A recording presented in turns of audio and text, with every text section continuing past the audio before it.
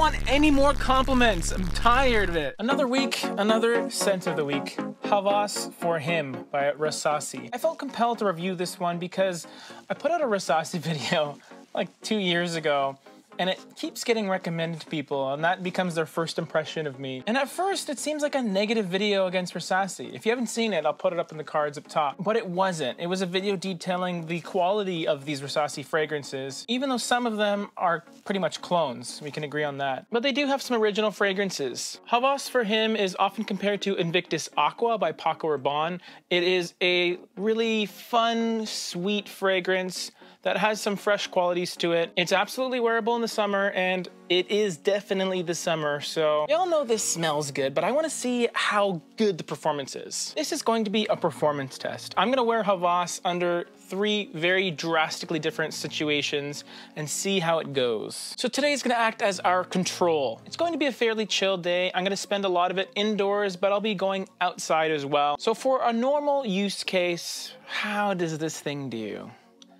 Let's see.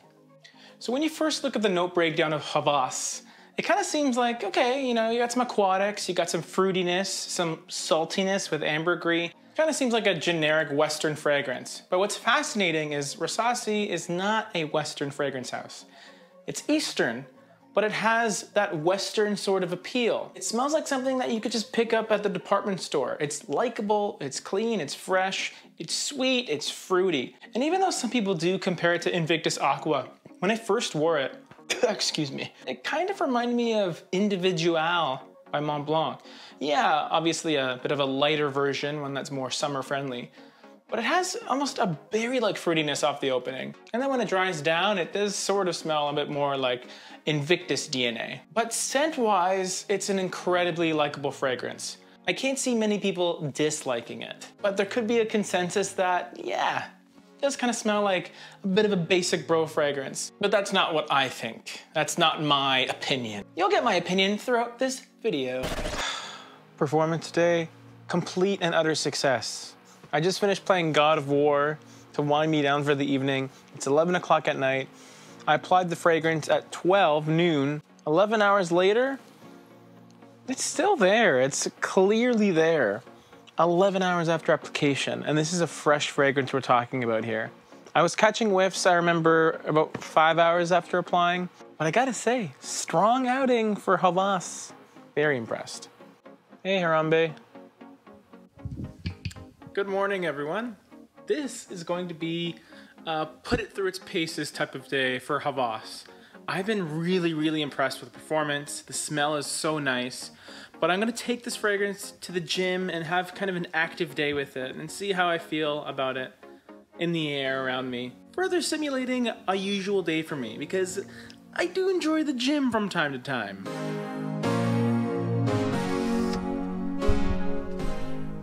So here's the good news. I got an unsolicited compliment. Woo! Thank you, Hawas. But it kind of backfired at the same time. As I was walking in, there was a lady behind me and she said, Wow, you smell really good. Are you wearing Eternity for Men? I said no because I was obviously wearing Rasasi Hawas and kindly went on my way. This woman just creeped the entire workout. She kept following me around like in the distance, sort of like looking at me and then like just looking away. It kind of gave me the heebie-jeebies, guys. But I got a compliment even though she thought it was Calvin Klein. But I gotta tell you, man, after that experience, I don't want any more compliments, okay? Enough. Leave me alone.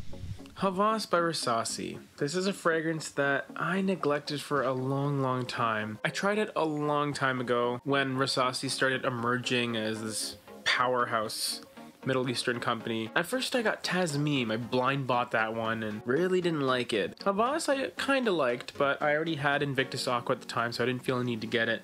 But now that I've worn it for the whole week, I gotta say guys, this is a fragrance that is totally worth getting. Such a versatile fragrance, it has Middle Eastern performance with a Western smell. It smells really, really likable, very designer-esque if you're into that kind of thing. But don't take my word for it. Let's see what D thought of this one. Jesse Ventura here. We just watched a bunch of Jesse Ventura videos. um, crazy guy. D, what do you think of my fragrance of the week? Blends nicely. Like it wasn't like overpowering. Like, all. is it It's like a little bit sweet and dark. Sweet, sweet and dark? Nice. I don't know, like chocolate. Like chocolate, that's kind of dark. That's like the kind of feeling I have. Is it is it too much for like this weather, or is that No, no, no, it's like sweet, Yeah, right? yeah, yeah, definitely sweet. So not exactly a glowing review, but I still think it's an amazing fragrance. I got two unsolicited compliments this week, one from the weirdo lady and one for my parents. They both collectively agreed that I smelled pretty cool. If you're looking for a very likable, good performing fragrance for the summertime, you can kind of wear it year round, really. I got mine from fragrancebuy.ca. Just get it. And if you're interested in seeing that controversial Rasasi video I made a while ago, click on it and see that it's not actually that controversial. It just has a weird negative clickbaity title. But this is my opinion, I'll get your own, okay? Bye.